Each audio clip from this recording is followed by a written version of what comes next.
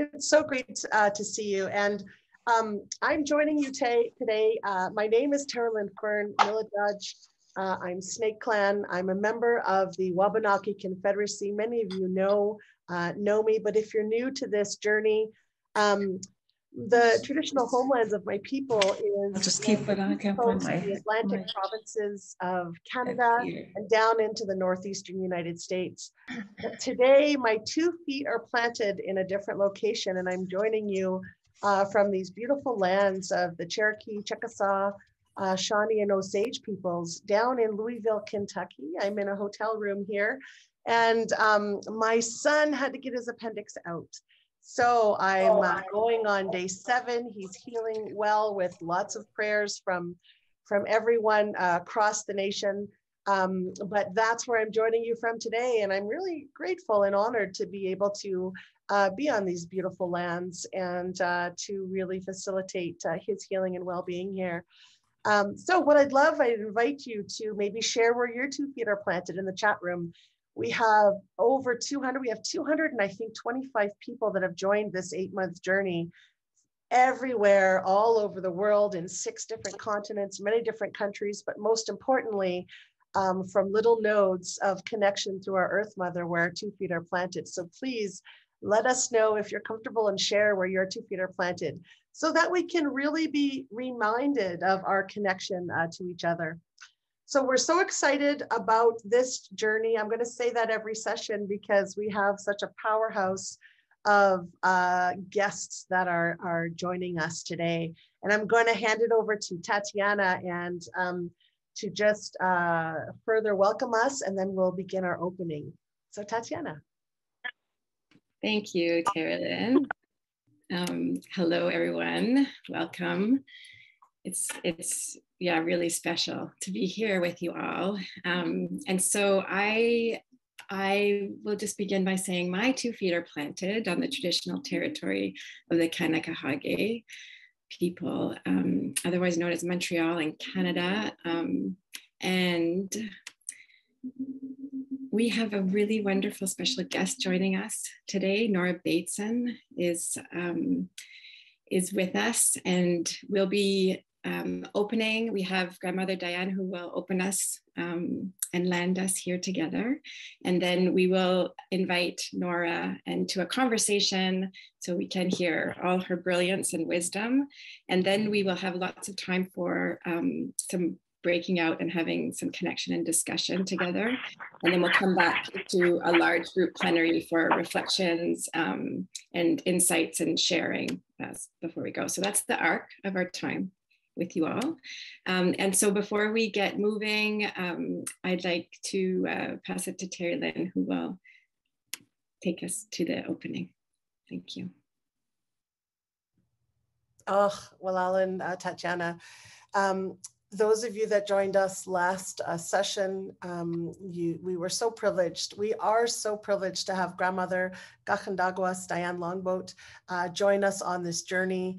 Um, and so I'd love to extend a beautiful invitation for you, uh, to begin us in a good way and and uh, speak those words, those beautiful words that come before all else to prepare us in a good way, uh, in, rooted in care for our time together this evening. So I'd like to invite you to open us. Thank you so much, Terrellyn and Tatiana. It's lovely to be with all of you. My, uh, my, my, Mohawk name is Gahandagwas, and uh, I say to you today, Sego Skanagoa Sewakweko. Gahandaguas Yinyats. My name is Gahandaguas. I'm Mohawk Turtle Clan, and I am coming to you from Six Nations Grand River Territory, south of Toronto, Canada. I want to say how grateful I am to Songwe Dison, our creator, for giving us this opportunity to connect all across the world in a very special way. We, our people call this internet the cobweb, and it was prophesied that we would have this, um, and it was seen 300 years earlier. So I want to offer some words of opening for us, the way that we do it um, in those important meetings, the every ceremony, social gatherings, meetings of importance.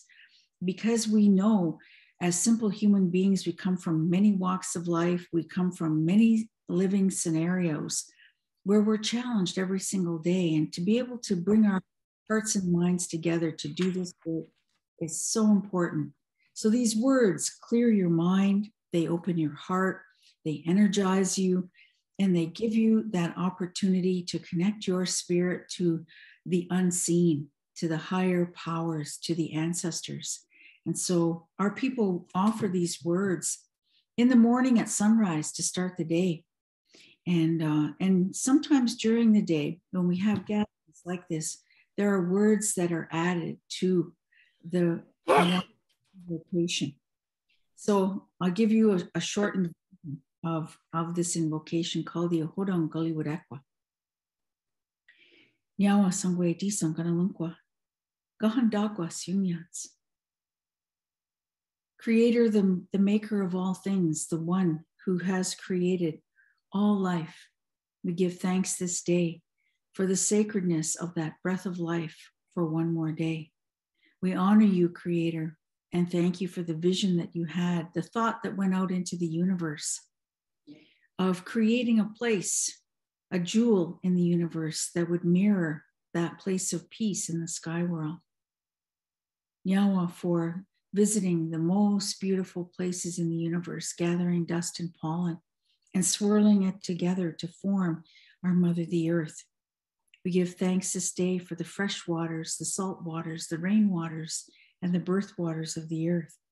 We give thanks this day and honor the oldest form of life on the earth, the plant life. And in our area, the lead of, of all those trees is the maple tree. And it is preparing now to, uh, to give us medicine that will cleanse our bodies after a long winter. And it will also give us that sweetness of life, which is our our maple syrup and our maple candy. We honor this day all of the medicine plants, all the food plants, the three sisters, the corn, the beans, and the squash. We honor and lift up this day all the animal life that is on the earth. Those animals are brothers and sisters to us in some form, our clan systems. We honor them and lift them up to you and say thank you for creating such a, a beautiful family of animal life. We also honor all the bird life, and especially those that, like the eagle, that carry our prayers to the Creator. Carry, carry our prayers because that, that eagle is the strongest of the birds. All of the, the singers the, among those birds, those that come to us in the springtime, those that have stayed with us throughout the winter.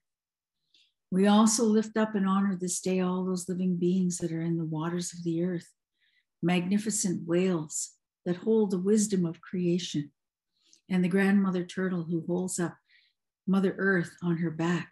And we understand that to be the truth from the time of creation, when there was only one land mass. This day we have in our area magnificent white thunderbirds that are moving about, bringing snow and ice. The four grandfather winds moving about the earth and refreshing her. We give thanks this day to all of those beings that are in the celestial world, the stars that represent our ancestors, the grandmother moon who takes care of fertility and the coming of new life, the pulling of the waters and tides so that all the life that is underneath the water can also receive its nourishment. We honor and give thanks this day to our elder brother, the sun, walking across the sky from east to west each day, never failing in service to the Creator to restore life here, renew life here, and help life thrive on Mother Earth. There is a highway that joins the natural world to the high heavens of the spirit world called the Milky Way. New life comes on one side of that highway as the unborn entering this world and coming here to become a human being so the spirit can grow and it can evolve, it can meet challenges, and it can become the very best that it can be by bringing its gifts into the world to create harmony. We give thanks this day and honor all of those souls, those spirits that are leaving the earth. They have finished their work here and they are returning to that place of peace where we were created. We give thanks and honor to them this day. And we say how grateful we are for life and for that experience of life here on Mother Earth. We see on the other side of that beautiful Milky Way the fires of our ancestors that are burning there. And we say how grateful we are that they pray for us. They know what it is to be a weak and imperfect human being.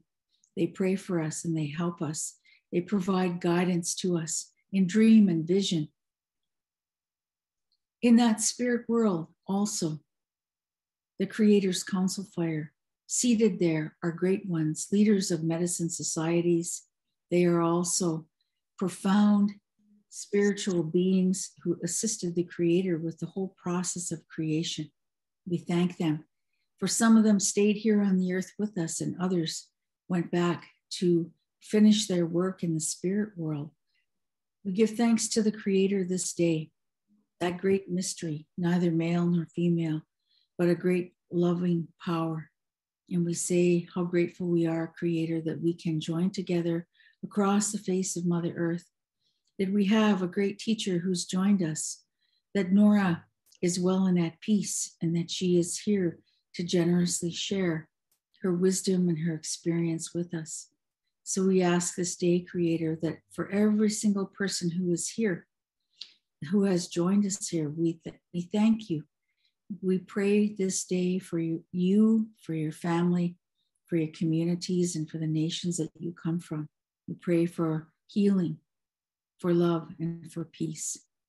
So, with these words, I present to you Sangwe Dison, our family, and our intention for this time together. Yawa, Miigwech. Thank you very much. Back to you, Terrellyn. Oh, Yawagoa, uh, grandmother Diane, for uh, just the my physical body, the presence of my physicalness just changes. Um, when you speak to all of creation and all of our relations and remind us in gratitude of how we are connected uh, to the cosmos through all of the seen and unseen beings. And so, uh, to you for um, for sharing and reminding us uh, in such a good way. And you know, this today's session is about landing in our bodies, and we wanted to uh, make sure that we uh, are mindful of our relationship of the sacred fire. And so we want we I want to just acknowledge uh, the sacred fire that's burning at Soul of the Mother Lodge and remembering how we began this journey and the being in relationship with that sacred fire and and being in the presence of that sacred fire connects us to a greater consciousness, as I have understood from you, uh, Grandmother Diane. And I remember when you, uh, in some of your teachings, that you had said, you know, we have this physical connection uh, and a physical ability to to connect to a greater consciousness through that sacred fire. And you also shared that how our body is like an antenna that perceives the whole cosmos. And I think that it's just I'm so mindful and present with that. Uh, that uh, sharing that you shared with me about that because tonight's session landing in our bodies uh, dancing with the seen and unseen and, and sort of questioning and wondering um, what is possible as we journey through through this eighth month journey but also in our dialogues and decisions tonight and our discussions and i think about you know how our consciousness sort of informs itself through our creation. So I'm just sensing this beautiful artistry uh, in woven throughout this this beautiful dialogue in our invitation with Nora.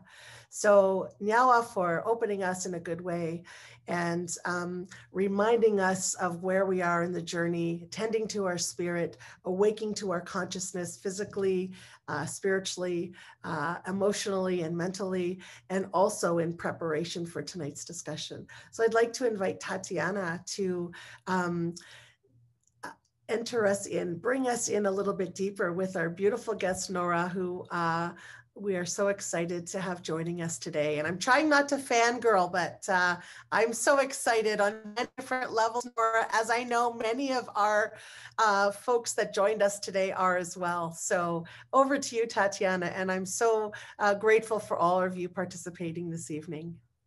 Mm. Thanks, Taylor. Thank you, Grandmother Diane, for, for opening us and landing us here. Um, the, the theme today, interconnectivity and landing in our bodies, I think there's many ways that we can come into this conversation. Um, and uh, I encourage everyone just to reflect on what this means for you personally um, as we as we engage in dialogue um, together.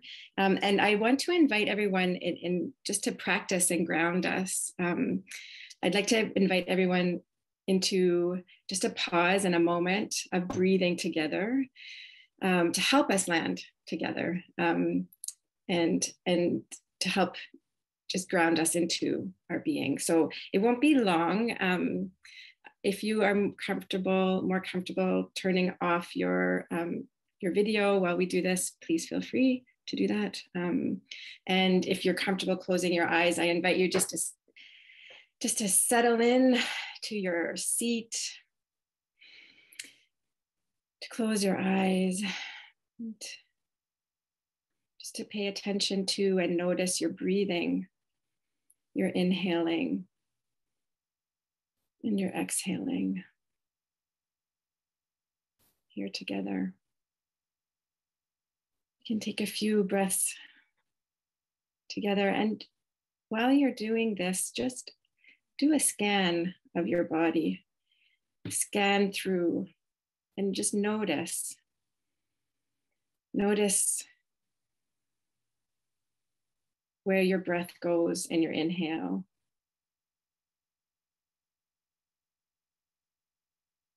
Notice any stress or tension you might be holding. And take a breath into that tension and, and, and or stress or any pain that you might be feeling. with that breath, just give it a little more space and a little more room, some expansion.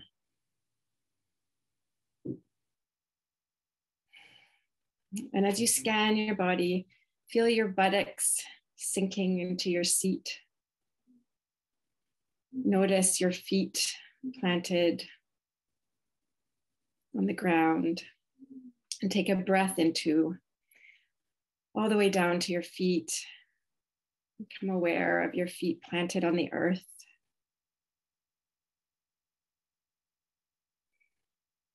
The earth that we're all connected to together.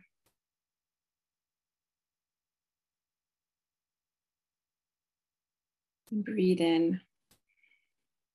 And let's take a breath into our heart center and feel a release around our hearts.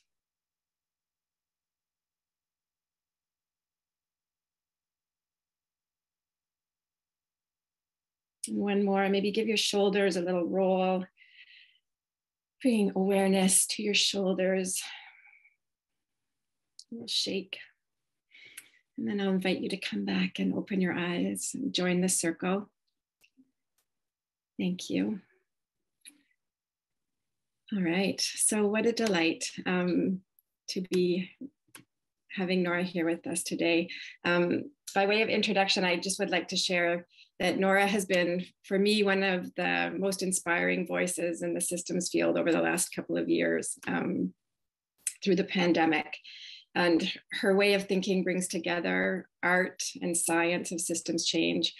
And she challenges the field um, in a beautiful way to not be perpetuating the very systems that are harmful that we're trying to shift. Um, she is a woman thought leader in a very male dominated space. Um, and her work um, around warm data has been, um, I would say, um, leading in the field in terms of embodying complexity. So a little bit uh, about Nora, she's the president of the Bateson Institute, um, a thought leader, an artist, a writer, an educator in the field of complexity. She's an author of a book, Small Arcs of Larger Circles, and she directed and produced the award winning documentary An Ecology of Mind, which is a portrait of her father, Gregory Bateson. And her work brings the field of biology, cognition, art, anthropology, psychology, and information technology together into a study of patterns in the ecology, in the ecology of living systems. So welcome, Nora. So amazing to have you here with us. Thank you. It's so nice to be here. And thank you for the beautiful opening. Um, that was so lovely. And I feel so much better already. Mm. You know, you've had a, a, you've had a big day, so we're grateful that you're sticking around into the evening with us. So I think in this in this conversation, um, we have lots of space that we want to explore but let's let's begin given that we're looking at the weaving of care and systems um, in your life and experience how has care intersected your work how has care inspired you maybe held you back? Um, how do you think about care in the context of the work that you're doing in the world? I, I want to start by saying that one of the things I'm most interested in um, and that I care about uh, is the question of where is change? When change happens in a system, where is it? How do we tend to that change? And um, we live in a world that is dominated by the idea that um, it's, it's a mechanistic idea that in order to make change, you change the parts. Um, and that you can declare what you want the change to be, and then you can make a linear strategy to get there. Okay. Um, but we live in a world that's alive. And we are living organisms comprised of other living organisms that are all changing in relation and response all the time. So, this question of where is change um, comes into your question about care. And, um, you know, one thing about care giving and care receiving is that it is a teacher. It's a teacher um, that that does not relent um, around what what kind of time it takes, what sort of attention it takes, how to perceive others and yourself and your relationship in new ways. Um, when you're in a, a time of caregiving, what's happening is that there is change taking place. Maybe it's an illness, maybe it's a child growing up, maybe it's just the daily maintenance of life that you're caring for. But in any case, all of the organisms in the situation are constantly shifting. So care for me is is also about perception. It's about um, those kind of sensitivities that um, that we don't maybe use in, in other circumstances. And I think that if I'm honest, that one of the things about care is that it's unrecognized by the systems around us um, it's not productive. It's not efficient. Um, you're not getting anywhere. There's no deliverable. You can't really measure it. It's hard to name. And yet it is a mutual transformation. Being in care giving and care receiving is a mutual learning with other people and organisms. You can care for all sorts of living things. So for me, care has been, um, I have a lot of kids. And um, I think that one of the most uh, difficult and important things I learned in my life, I learned from my mother in law. And uh, I, I have a habit of marrying musicians. I've done it twice now. So I don't know what that's about, but that's clearly for another show. Um, and so they're on the road all the time. And so that leaves me home to do caregiving. But I'm also a professional person and I'm also, you know, trying to keep it together in the world and um and my mother-in-law, she had six kids. And she was married her her husband was a musician as well. And I once asked her in in what I thought was respect and awe and I said, Wow, you know, how did you do this? And it was the one and only time that she responded to me ice. She came back, she was ice cold. And she said, Life was hard, and we expected it to be so. And when it wasn't, that was nice. Now, in my world of personal care and time for me and all of this sort of stuff that I learned about, this was a confusing response. I didn't really understand it at first. Um, I've come to realize that her response was one of the greatest gifts I ever received because it actually set me free from feeling like when I didn't get time to myself or when I couldn't give, when I couldn't do the things that I thought I should be doing for me, that I wasn't being deprived of something. And I think it's easy to get into this kind of strange arrangement with the notion of self care, which is important, um, in in relation and in in mutual caregiving. So what I learned from her response gave me this moment of being with my kids, you know, when I had a fever of 102 and my kids were fevering too, and they're throwing up all over the place and realizing in those moments, not the pretty little beach moments or the ice cream cone moments, but in those moments, what it means to love. And I I think that the the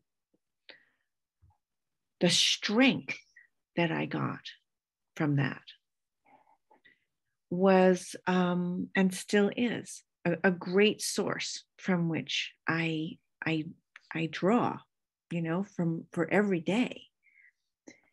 I remember my mom said to me when I had two little babies, 17 months apart at that point, and I was overwhelmed. Papa's on the road. Um, and she said, Oh, don't worry. You'll find strength you never knew you had. And she was right. I didn't know that I would find that. But in my learning to give care and to to to hold and to uh, heal and to soothe and to play with those children, I actually learned how to um,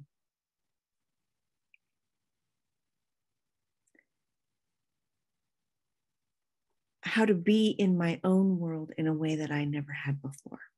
I transformed in that caregiving. But this isn't something you can put on your CV. This isn't something that goes on your resume. It's not something you can say, hey, you know, this is my big achievement in life. But let me tell you something it is absolutely some of the biggest achievement I've ever made is in that form of care and giving, where it, I was no more. I am in pure service. And um, this is not um, this is not a, a degradation of self, it's an expansion of self.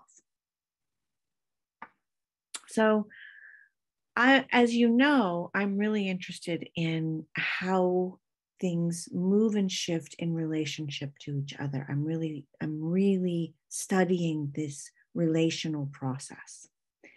And I think in the coming years and and now, certainly in the past couple of years, um,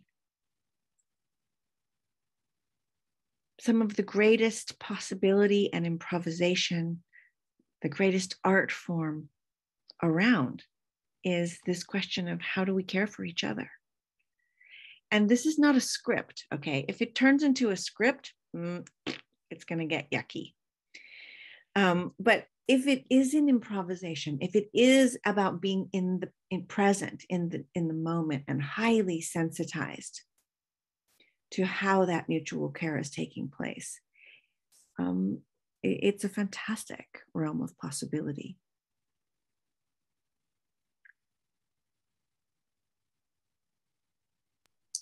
Amazing. Um, Terrellyn, did you have? I just, you know, when I prepared for this, you know, in my own ceremony and preparation, I, I didn't really know where we were going. And you're just touching so many beautiful little heartstrings here uh, for me personally, Nora. And I'm, I'm thinking about um, one of the questions that came when we were around the sacred fire is how do we shift from being from human beings mm. to humans being and the mm-hmm. connection of the action oriented caring loving you know um, and you're really speaking speaking to that and, and i know that many of the participants that are joining us today are are mothers and now we're talking about mothering and you know connecting and i just think there's this beautiful um, action you know you're validating and and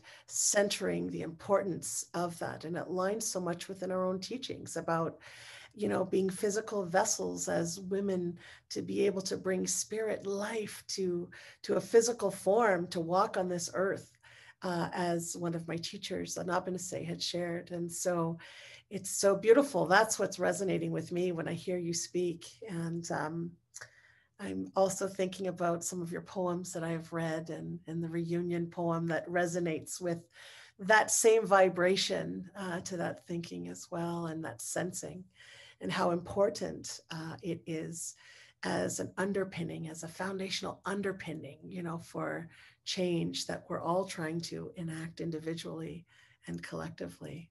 That's what's resonating with me. Um, yeah, I mean that that that human being. Um, it, you know, we're going to have to help each other remember what that feels like. And, and I think that that's, that's really important because it could be an adventure of the self to fi- refind that way of being human, human being but I think we also have to take responsibility for how we are with each other.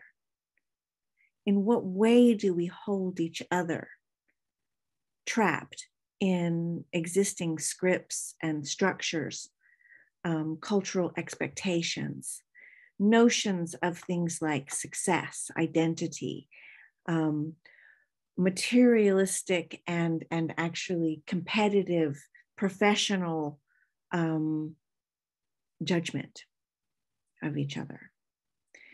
Uh, because we have to help each other get out of this.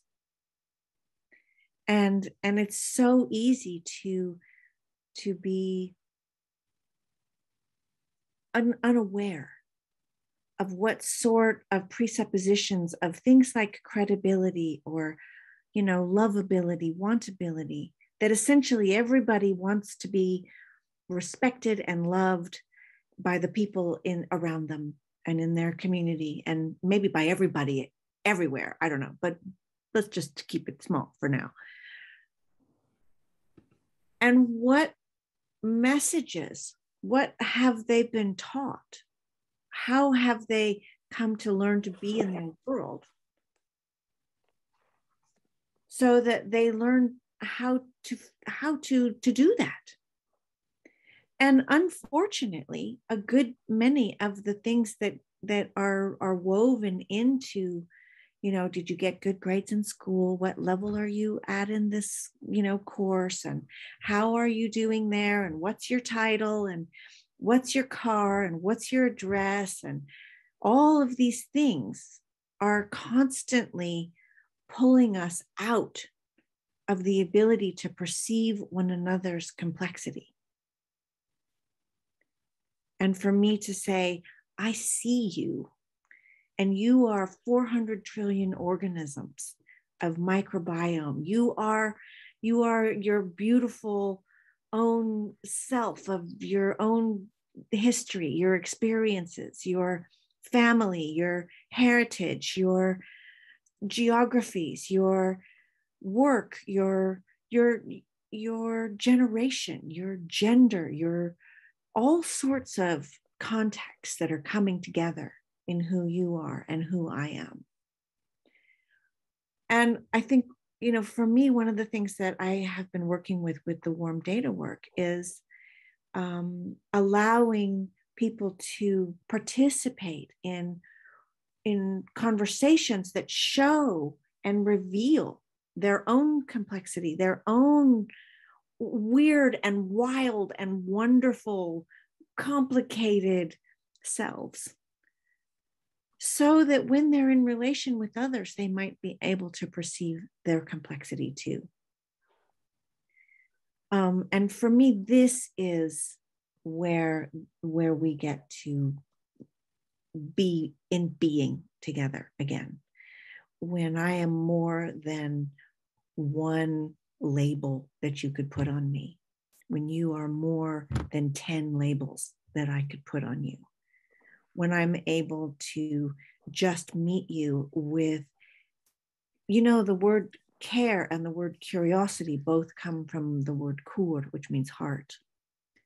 Right. So to, to meet you in care and curiosity of all of the complexity of your being. I mean, why not actually? Like what, what is the big benefit of not doing that? I don't know. It seems like it just confuses everybody. And and you know we get we get short with each other. We start to respond to hmm. incomplete processes and it hurts. You know when people are reductionist when they create a reductionist version of you, it hurts. And you want to say, but wait, I'm so much more than that. I'm not perfect and I'm learning and I'm I'm I don't know who I'll be tomorrow, but I know I'm more than that label. So how we come together in in that way of being is i think it's you know it's pretty unscripted right now. There's there's not a lot of um we don't have a lot of practice doing that. And we don't have a lot of ceremonies for that anymore. There's not a lot of language for that. So this is a moment of kind of being clumsy with it. We don't really know what we're doing. And we're in a world that's changing so fast in so many ways. Um, you know, economically, culturally, politically, eh, in the in the climate and ecologically. So, who are you? Who am I? And how who am I now? Who was I 10 years ago? Who am I in my ancestry? Who will I be? And so my my sense is that in in respect of that notion of being together there is also this becoming um, so i did write this poem and i'll i'll put it in the chat and i'll i'll read it to you. So people ask me all the time you know what what is this warm data stuff? And um, i feel like it's dangerous down here. to answer things in in prose when prose makes things flat that aren't flat. So I find that I have to respond in poetry to something. So, what is warm data? Well, it's a reunion. It's a thickening of the unsaid integrity, starting in small fringes that link and recircuit, finding unfound mixtures, resoaking the marinating memories until their softness is sticky vitality, like the richness of soil the ensembling is teeming with nuances, sticking to other nuances, following entirely undrawable paths. The unusual textures, the surprises in the wordless sea of how we are. The resonances and the rhythms have their own current. In the rich probiotics of fresh tones made together without goals. This is not collaboration, this is composting. This kind of new life is not a restructure, it's a reunion. It's not a plan, it's a nourishing.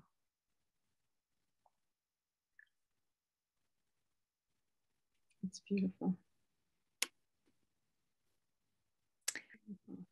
And I think the other poem that sort of speaks to that um, is a poem called Uncut. And I'll put it in the chat.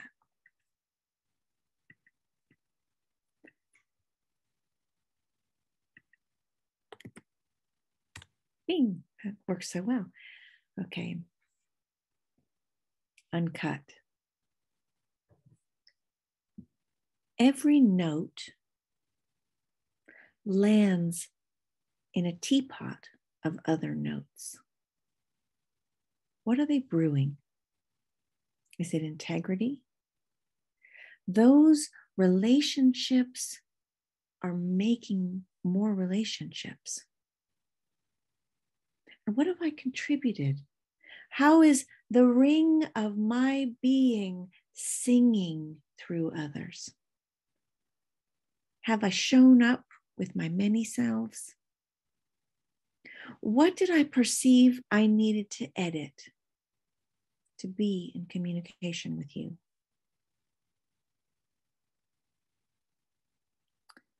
What did you need to edit to be in relationship with me? What did I cut? What has been trimmed so that I could fit you into my illusions? What will the wounds say how will they brew with time? Are we teaching each other to hold back? Your rage and your wonder, your scratching at life's scabs, and still your soothing fingertips, grace. Both are consequences of time across generations, navigating this crazy world. Talking about a future, don't stain it with any utopia, terrorizing the necessary complexity. Would it help if I said, We're learning together? shaping each other, unsliced, integrating, reunion, to be uncut with you, uncut in our uncut world.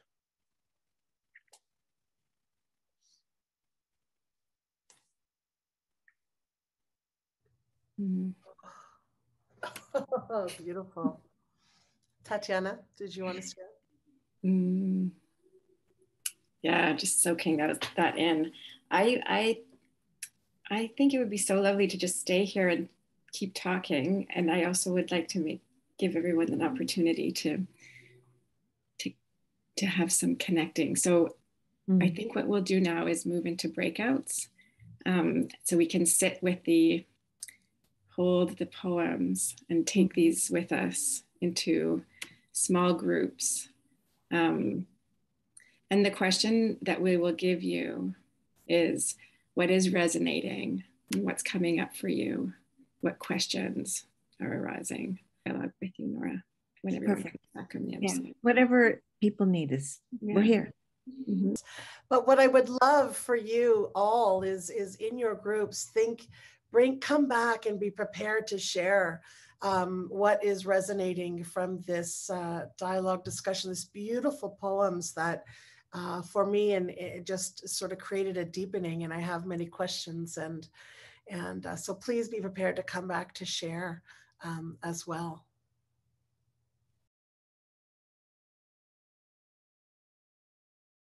We're just welcome back, everyone.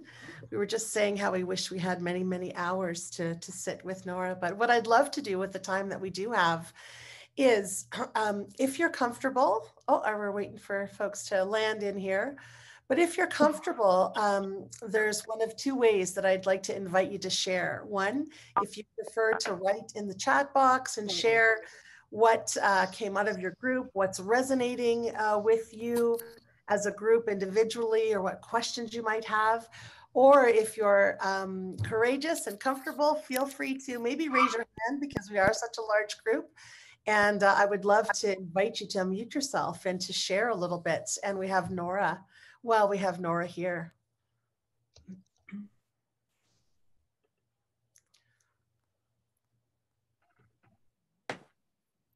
Maybe Fallon and someone can help me keep an eye on the the raise hands, the raise chats. So what, uh, when we sent you off into the, the groups, it was what resonates with you. So we'd love to hear back um, what the dialogue and discussion was about and what resonated with you uh, in your small groups. So oh, I see Sapana and Nadia have hands up. Okay, thanks. Mm-hmm. So maybe Sapana, go ahead. There we go. Hi, it's it's Sapna. The middle A is there to trip everybody up. Um, so um, what really resonated with me was the juiciness of all of these things that you spoke about, Nora. The the whole piece about like where is care located and how we are actually transformed within it.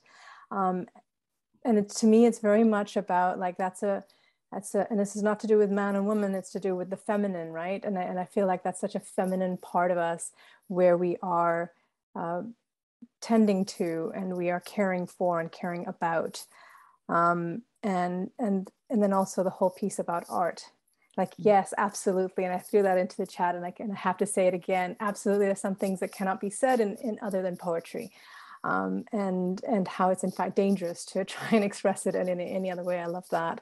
Um, and and we also spoke in the group, and I'm not speaking for the group, but just some things that were were raised was how um, you know how when we when we're able to be attentive or take care of what's within us and take care of um, the others as well, right? Like in the group. Um, yeah, so that and the whole piece of like the intersection with all of that with art, it's just, it, it was so alive for me. Thank you.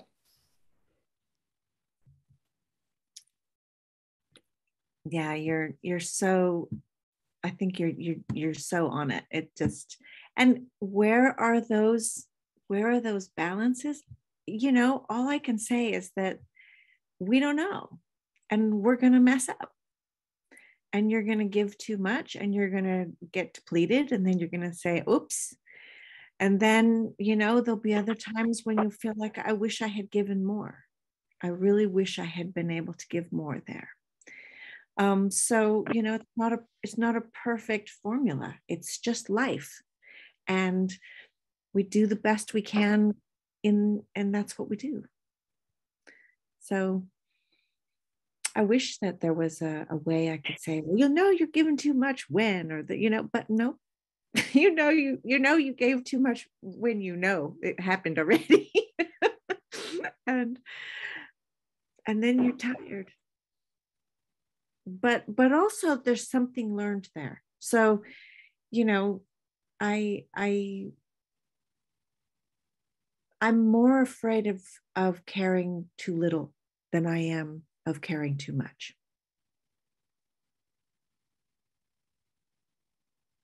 I think in my life, I, I can look back at moments when I gave too much and I think, oops.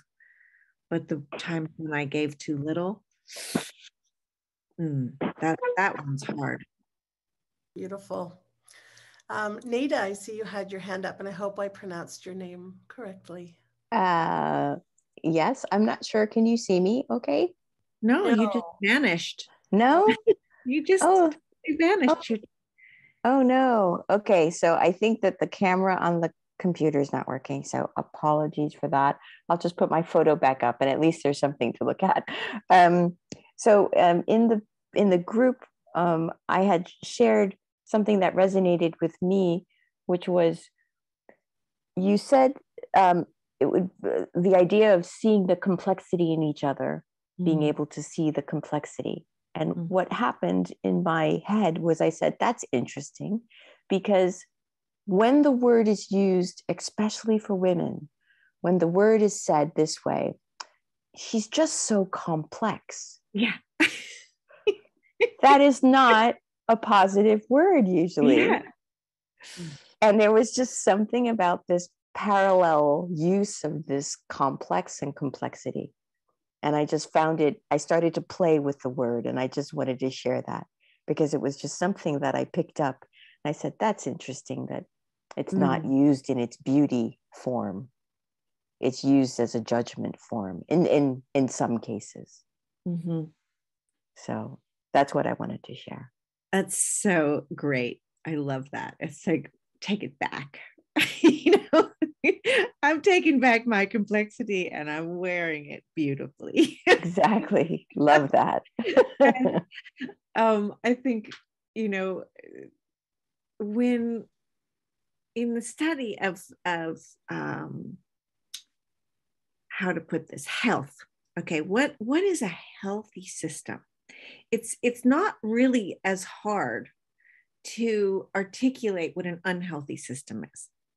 But when we start to try to say what makes a system healthy, that's where we kind of run into like, well, it's a, um, it's a, um, well, it's it's it's uh, it's just healthy, you know, like what's that?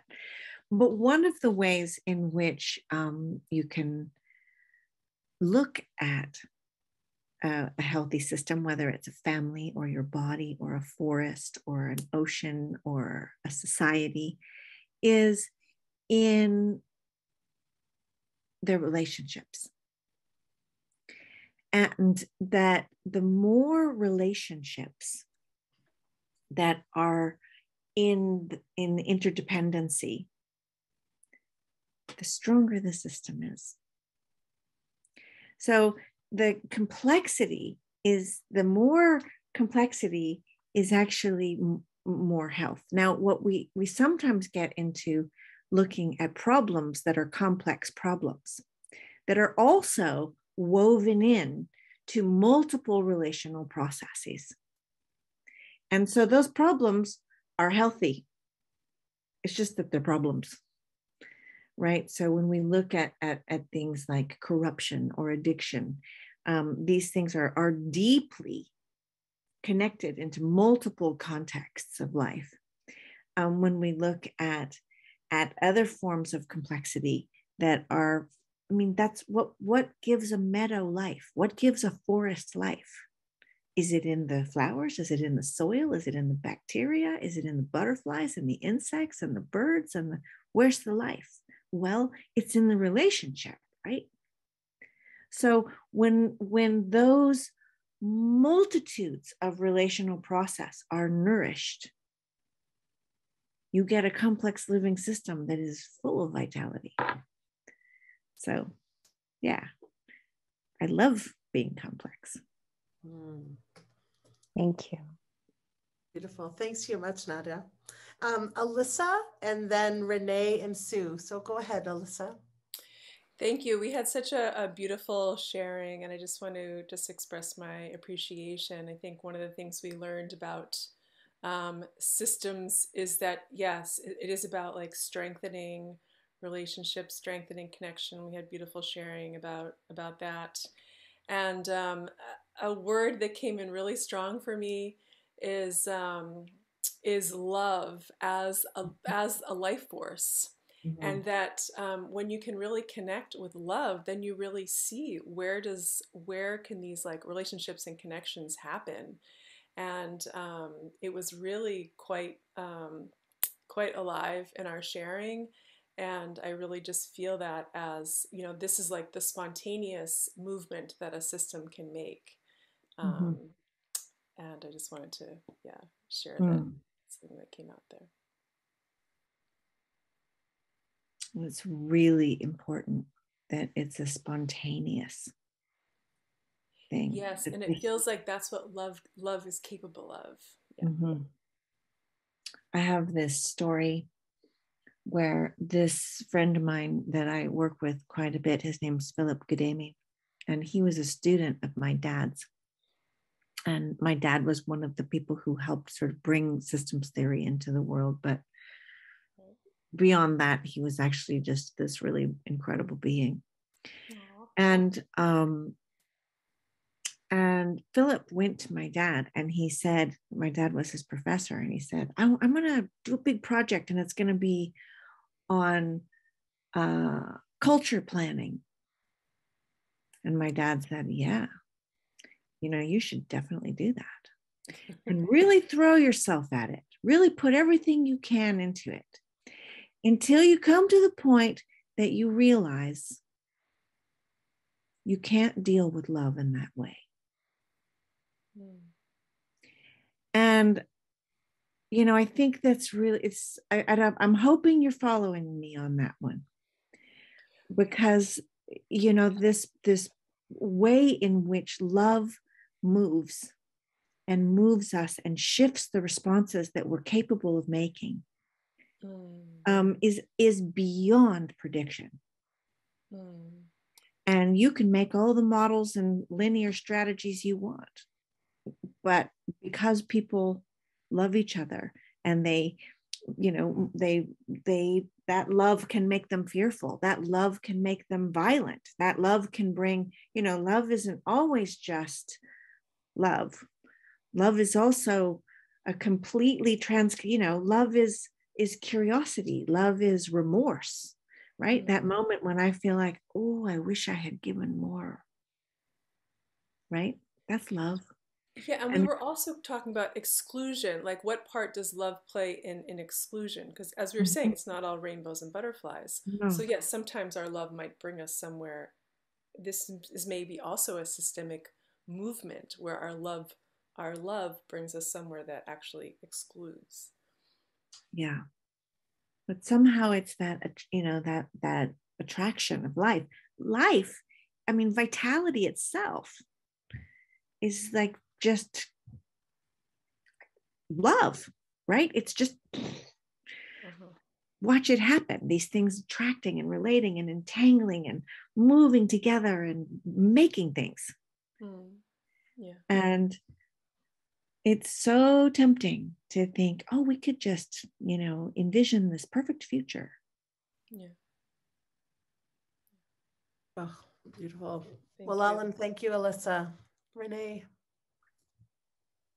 Yeah, thank you so much, Nora. Our, our group had um, felt like so much resonated, and I think that um, the there was so much depth in everything you said that I actually have a question to try to understand the piece better.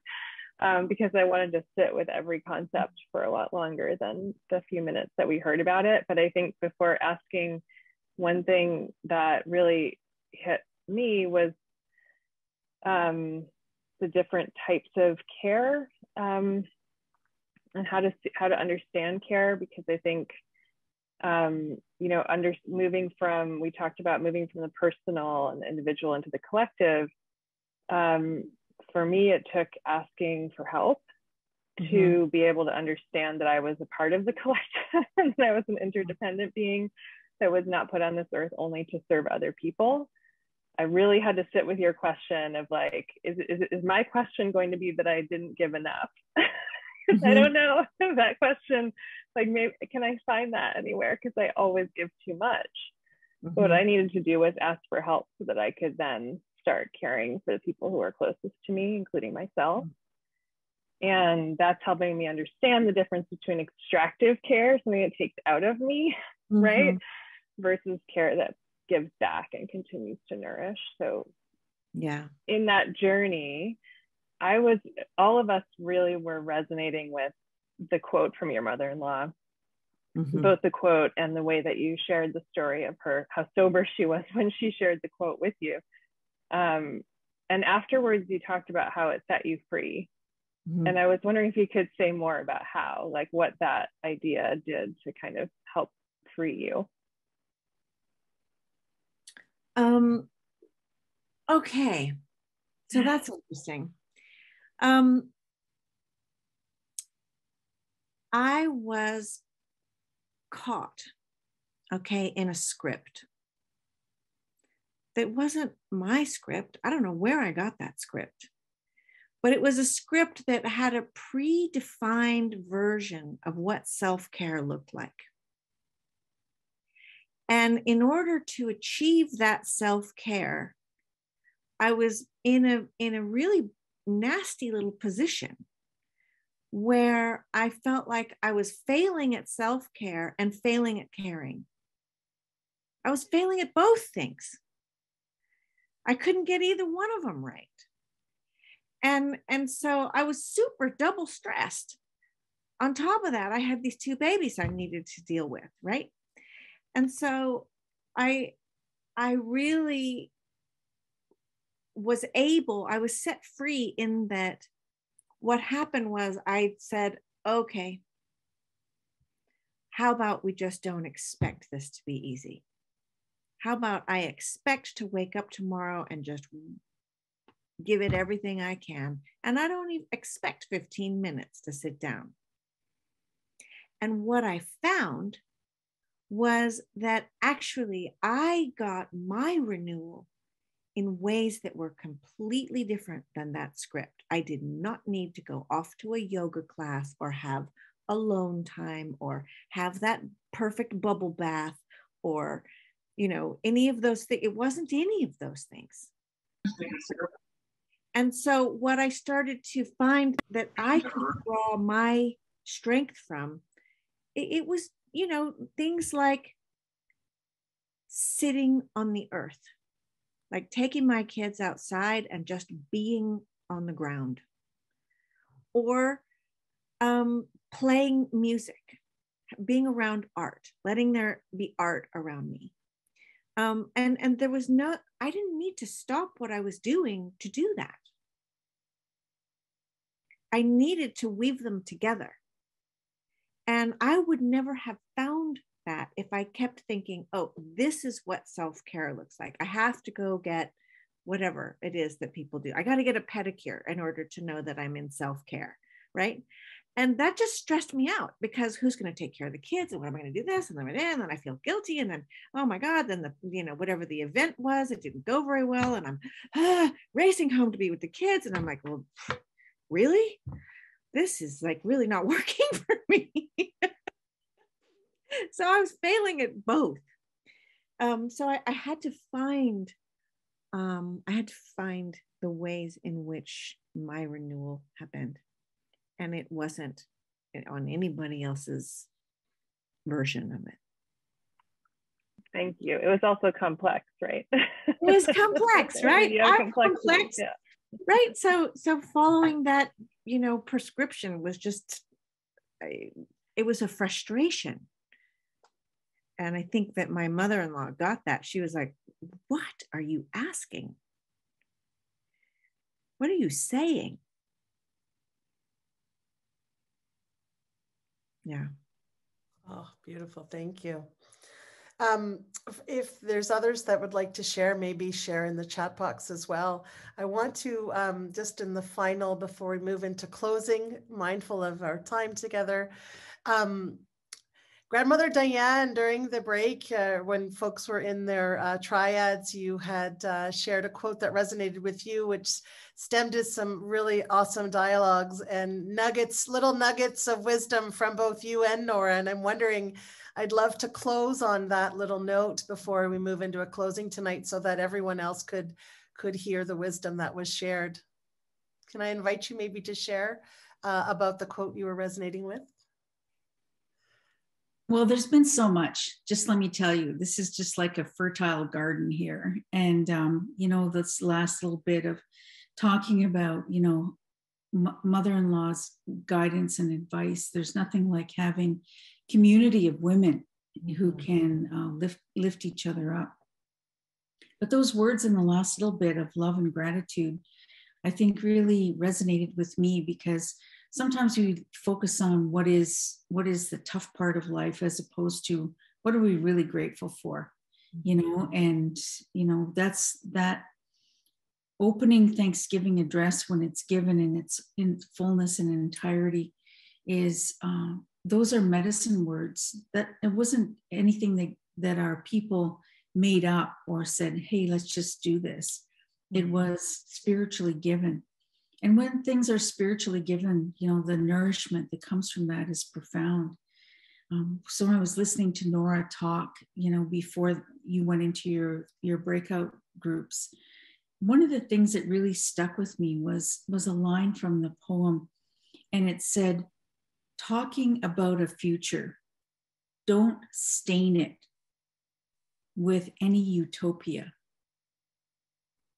You know, and I think I think a large part of what what Nora was was messaging us for was, you know, the, the care of self and family and community, the care with love and gratitude, and bringing that that the power of love and gratitude into those systems. That's what's going to heal us and heal our children and grandchildren and great grandchildren because that that whole power of love is infinite medicine in the universe. So then we started talking about, you know, that's what I mean. You know, it's a fertile garden. We just took off after that. And it was such a, a great conversation. So um, I'll pass it back to you, uh, Terrellyn, if you wanted to say anything. No, that that led us into the thread, and I'll I'll pass it to you, Nora. But the thread about these systems and about how we've been sort of conditioned to think about healing and well-being and the process and and and you know the pathologizing process of you know what those systems have been built on. And and you spoke about the white tower. Maybe you could just speak a little bit to that. And uh, you also had shared about, I wrote it down, you said, uh, if we are going to change um, relationships, we have to change communication. And you're like, mm-hmm. that's it, at the very seed of everything. So if you would like to speak to those two things on the closing, that would be wonderful. Oh my God, I have one minute to do that. No, um, t- take your time. Okay, okay. um, well, I, I, I have to say first in in you know in gratitude to the um, many wonderful beings that work in the medical world and in mental health. Um, that I, I feel so much gratitude for their work. And then I also want to say that we have to pay attention to the roots. And um, and there are some dangerous roots there. Um, for the most part, the history of uh, you know the the sort of late 17th, early 18th, 1800s, when the industrial era was coming into play. This is the moment when it became, when psychotherapy, when psychology came to be. It's the moment when economics came to be. It's the moment when statistics came to be. It's the moment when this whole sort of entry point of how do we fix people so that they can fit into the machine happened. And um, I mean, I got in big trouble this year because I threw, I threw a stone at at that glass house, and um, I was really surprised at how deeply attached um, so many people are to to these ideas that were actually produced through doing research that pulled people out of context and labeled them and measured them and you know judged them and this this horrible criteria that was eugenics. And and i mean it's right there at the bottom of this thing upon which the tower of some beautiful thinking and great ideas and wonderful people and all sorts of intent toward healing has been built but then you know when you start to you know ask I, I, I was sitting in a in a family therapy course i work with family therapy all the time so you know this is not something that i it's not something that I I want to um, throw stones at. But what I do want to do is call attention. I was at, at a session in Singapore, and there was this incredible hotshot from the West talking about, you know, how to make diagnosis. And I'm sitting there, and the room's filled with these, you know, beautiful young Malaysian Islamic women. And I'm looking at these descriptions of these behaviors and how they become these diagnoses, thinking, um, you know, we're in another culture here. These behaviors don't necessarily come about in the same way that they do in other places. So, are you sure that this produces that and that once they have this thing that's identifiable, they should take that pill? and recognizing this the the um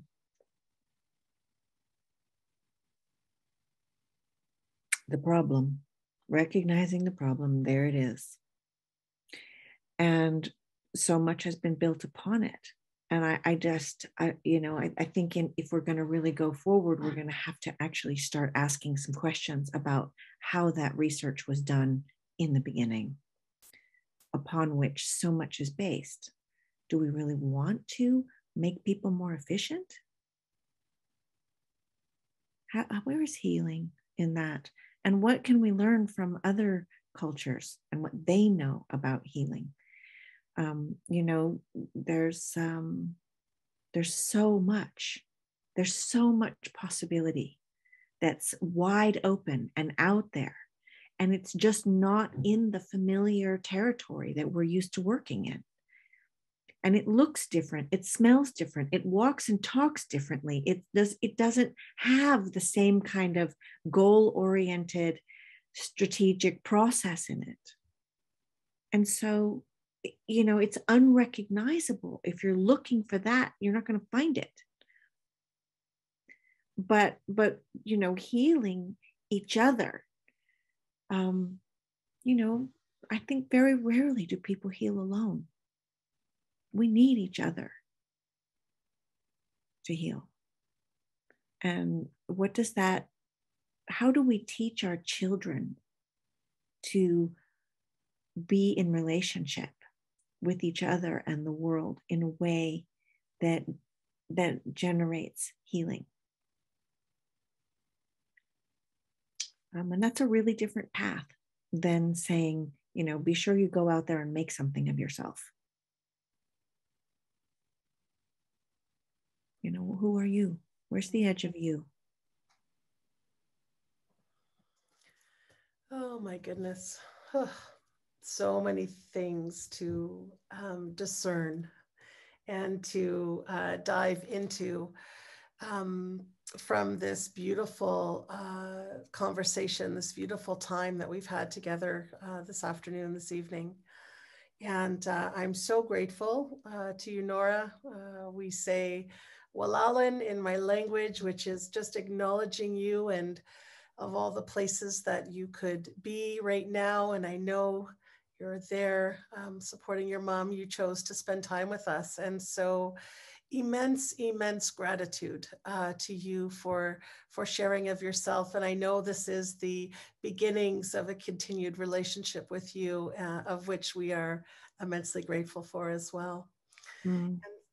So I Thank would like you. to, um, and also to everyone that uh, joined and participated. I know there's some folks that we didn't get a chance to, but we are going to um, post the link to the lodge at Turtle Island Institute, our virtual teaching lodge.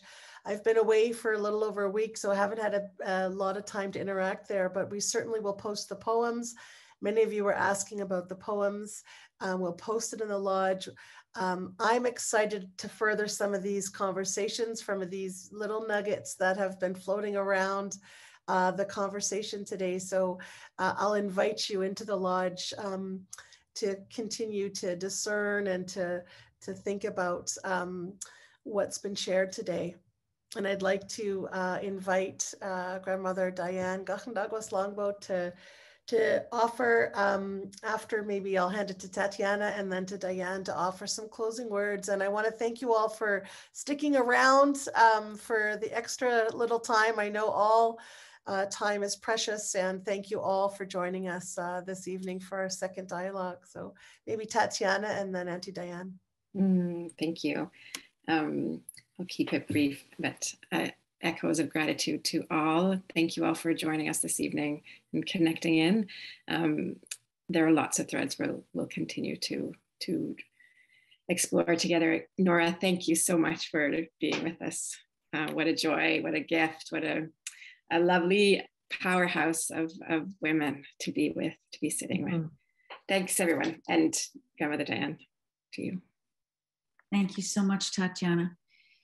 You know, the great wisdom teachers never give you all the answers. They make you think about deep questions and they, they give you the fullness of your own authority to examine those questions and to come up with the answers that mean something to you in your life. And so Nora's done that for us today.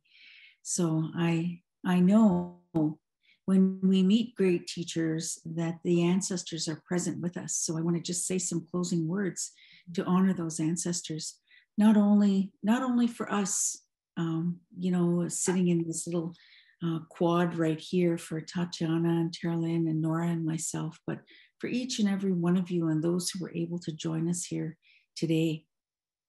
Yawa Sangwe Di Sankanalankwa, Gahan Dagwa.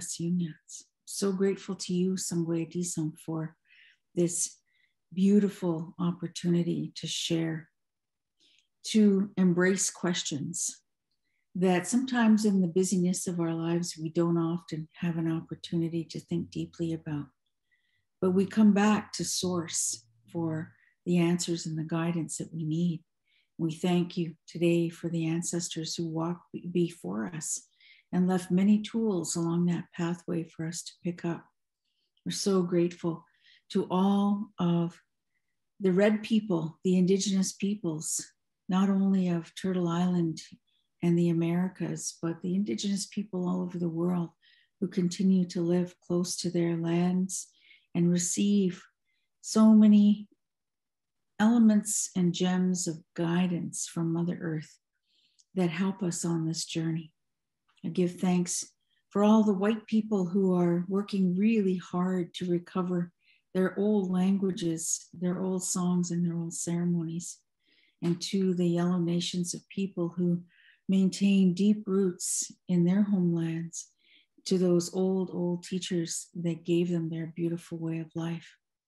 And I lift up today you know, the Black peoples in that great diaspora of the world now, where their traditions and their spiritual beliefs are still guided by ancestral connection.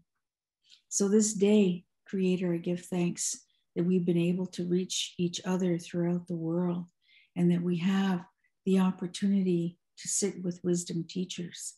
And we ask you to continue to watch over all the people who come to our, our time together here and meet, make a covenant to meet for, for the next months together leading into the, the winter of next year.